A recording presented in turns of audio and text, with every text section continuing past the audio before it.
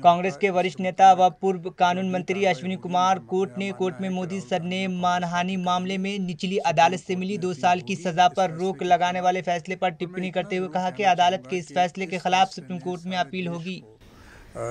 दुखद किया था और ये फैसला दुखद है।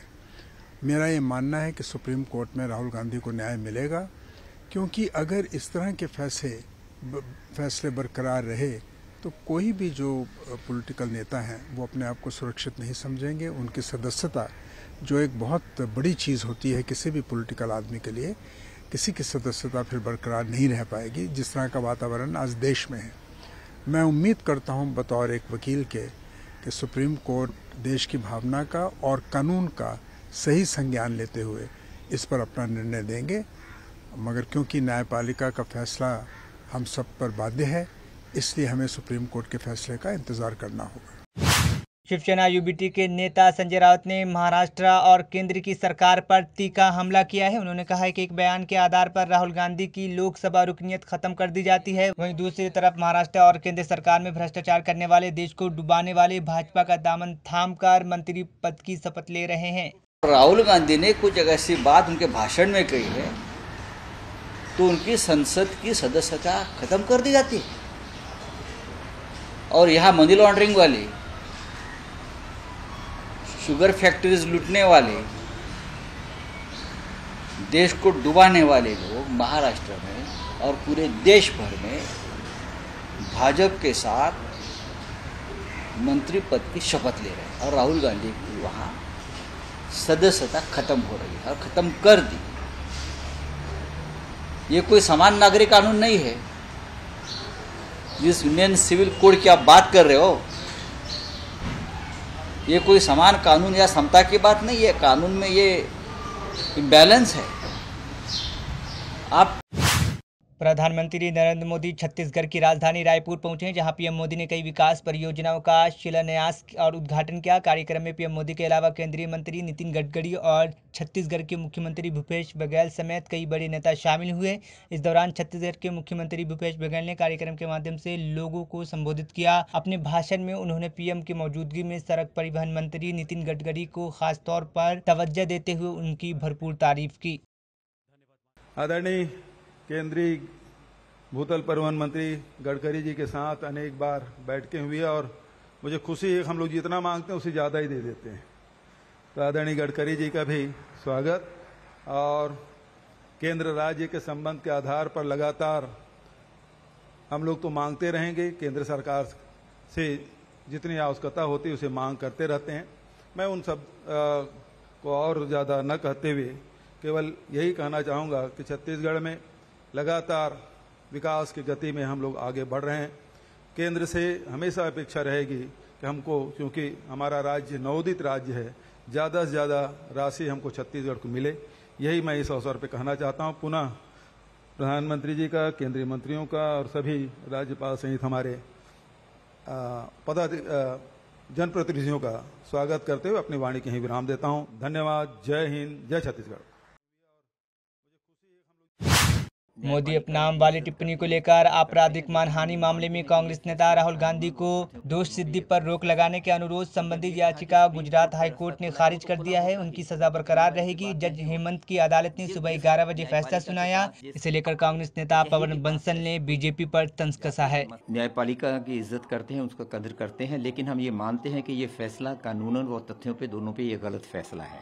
और जब ये कहा कि सुप्रीम कोर्ट का रास्ता खुला है वो तो खुला होता ही है वो तो कहने वाली कोई बात नहीं होती। जो जिस न्यायपालिका के पास जिस कचहरी के पास कोई जाता है मसला वहाँ वो उसका फैसला इस चीज़ पे करते हैं आगे ये नहीं कि आगे क्या उसके पास जो अक्यूज हैं उनके पास क्या रास्ते खुले हैं।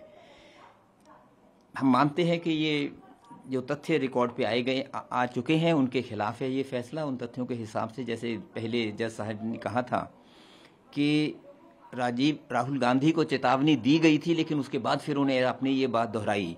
ये तथ्य दोनों सामने तारीखें रख दी गई थी कि वो जो चेतावनी का ज़िक्र सुप्रीम कोर्ट का था वो पहले हुआ नहीं हुआ था वो इन्होंने ये कह चुके थे। ये 2019 के इलेक्शंस के दौरान कह चुके थे उसके बाद का वो बात है। और यही सिंपल मैं समझता हूँ एक बात के पे ये फैस, जो पहले फैसले हैं वो रद्द हो जाने चाहिए थे। लेकिन हम इज़्ज़त करते हैं फैसलों की अब आगे फिर देखा जाए।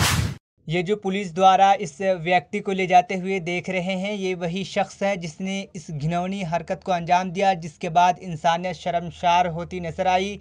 जी हाँ ये मध्य प्रदेश की सीधी में हुई पेशाब कांड का आरोपी परवेश शुक्ला है।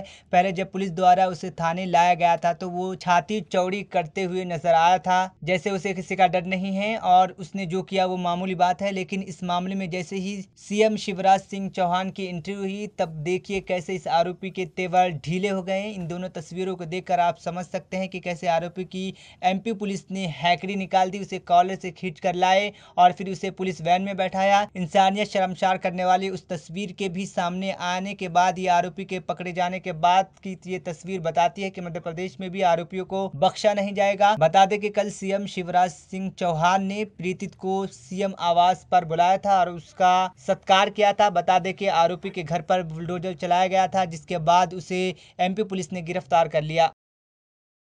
मंत्री पास आए, हमको बहुत अच्छा लगा। हमारे मंत्री ने संघ में फूल लगाए, हमारे परिवार से बात किए, हमको यही अच्छा लगा। हम सर, बहुत दूर से आ रहे हैं साहब से मिलके अब जा रहे हैं घर।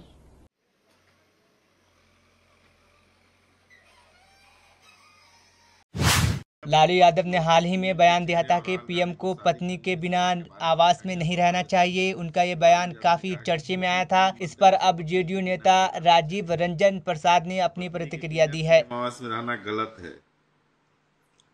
देखिए लालू जी मजाकिया शैली में कई बातें कहते हैं। उनका कोई राजनीतिक निहितार्थ नहीं निकाला जाना चाहिए। आज चूँकि इतना बोझिल वातावरण नरेंद्र मोदी जी के नेतृत्व में भारतीय जनता पार्टी ने देश में बना रखा है कि आज हल्के फुल्के संवाद कहीं ना कहीं वातावरण को ठंडा बनाते हैं। और इसीलिए इन, इस तरह के हास्य परिहास के जो क्षण हैं, उसके आधार पर राजनीतिक विश्लेषण का कोई औचित्य नहीं है। मणिपुर हिंसा पर बात करते हुए कांग्रेस के नेता मनीष तिवारी ने कहा, जो हो रहा है, वो त्रासदी है। पीएम को वहाँ जाना चाहिए, उस पर बोलना चाहिए था। इस बात को हम बार बार संसद में उठाते रहेंगे। अमेरिका के राजदूत पर उन्होंने कहा कि भारत में कई चुनौतियाँ आई, पर भारत ने कभी भी अपने आंतरिक मामले में किसी भी बयान की सराहना नहीं की। इस पर एक नकारात्मक दृष्टि से ही देखा है। हमने कभी भी अमरीका को ये नहीं कहा कि वो हमसे सीख ले। कि वहाँ पे जो स्टेट है वो एग्जिस्ट ही नहीं करती है तो शायद वो गलत नहीं होगा और इसलिए हम संसद में इस चीज़ को निरंतर और लगातार उठाएँगे। जहाँ तक अमरीकी राजदूत का सवाल है देखिए भारत में कई चुनौतियाँ आई पंजाब में जम्मू कश्मीर में उत्तर पूर्व में पर भारत ने कभी अपने आंतरिक मामलों में किसी भी बयान आ, की सराहना नहीं की है या उसको एक नकारात्मक दृष्टि से ही देखा है। आ, अमेरिका में गन वायलेंस होती है बहुत से लोग मारे जाते हैं। हमने कभी अमेरिका को ये नहीं कहा कि हमसे आप सीख लीजिए कि किस तरह से उसको आ, उस पर नियंत्रण पाया जाए। वो भी तो एक मानवीय त्रास्ती है। अमेरिका में रंग भेद को लेकर दंगे होते हैं। वो भी एक मानवीय त्रास्ती है। हमने कभी नहीं कहा कि हम आप पंथ को पंथ निरपेक्षता की सीख देंगे। मुझे याद है कि 1990 के दशक में जब श्री जब श्रीमती रॉबिन राइफल बहुत जम्मू कश्मीर के ऊपर उग्र राहत रहती थी तो जो अमरीकी राजदूत हैं, रहे, दो तीन राजदूत जो रहे वहाँ पे, यहाँ पे, वो बहुत ही संयम से अपने बयान देते थे, बहुत ही एक नपे तुल्य शब्दों का इस्तेमाल करते तो तो शायद जो नए अमरीकी राजदूत आए हैं, जो भारत अमेरिका रिश्तों का इतिहास रहा है, उसको, उनको संज्ञान में लेना ज़रूरी